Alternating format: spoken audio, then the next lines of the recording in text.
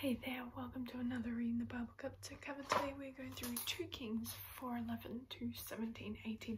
My point, my point is really only in 14:27 where we see, but the Lord had not said that He would blot out the name of Israel from under heaven, so He saved them by the hand of Jeroboam, the son of Joash. Um, once again, that blotting out being a total annihilation without any opportunity of repentance or redemption possible. And I think that's all for today. Thanks for watching.